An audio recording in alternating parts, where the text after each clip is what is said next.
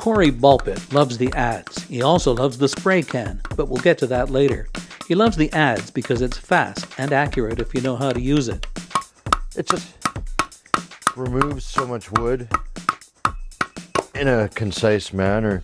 And I mean, especially once you actually know how to use the tool. Like, uh, you know, some people when they adze, they're going to take off layer by layer by layer. But really, the, the whole function of an adze, you can, like when I took this, I could just go boom, boom, boom, boom. And there you go, like right to that spot while this wood's still this thick. This mask was out the door in two days, start to finish, to the Cranmer Potlatch in Alert Bay.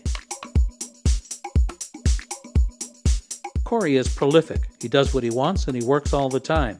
He tries new things, like this articulating heron, the carpenter, or this Haida fighting sword he pounded out of solid copper. But this is all pounded, cold forged. You know, and I just did that. I didn't take any training to do it or anything. I just just decided I'm going to make a short sword and, and I do it, you know. I think I think that's that's the kind of artists graffiti artists are, you know. Uh, it's like people that just want to go they'll just explore and do things. Just pick it up. Just pick it up and go for it, right? He knows this because he started out as a graffiti artist. But you know, we'd get these groups of guys and we were all graffiti artists. And what we'd do was really just for us. You know, it wasn't for the rest of the world or, you know, we're painting these pieces and they'd get painted over by the city or painted over by whoever.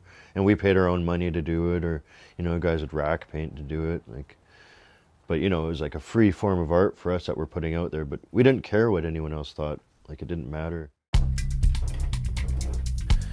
So, you know, like say with spray painting, right, it's may not be what people would deem traditional, but at the same time, it's coming from a tradition of like longhouse fronts, like to large scale paintings like that. And I'm just using a medium that's faster for me to use than, you know, if I wanted to hand paint a wall, it could take me two weeks for, uh, or longer for like some of the size buildings I do. You know, some of them are a couple hundred feet long or something. You know.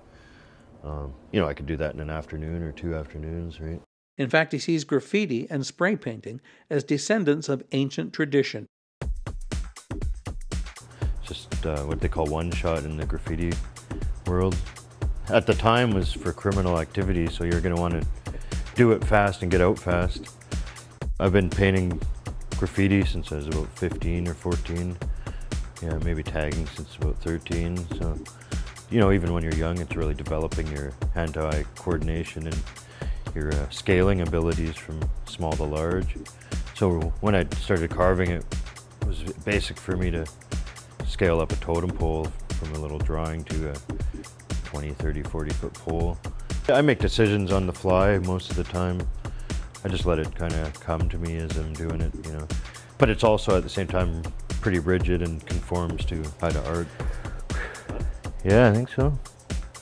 It's kind of in the tradition of house fronts to me, the tradition of marking your territory with petroglyphs or marking, humans have been marking their kind of space or areas they've traveled for uh, millennia, really. So, you know, it's kind of something rooted in mankind, I think, to mark surfaces with something that has to do with you or your culture.